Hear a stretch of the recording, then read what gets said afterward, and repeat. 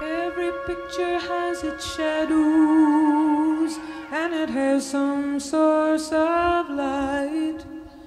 Blindness, blindness, and sight.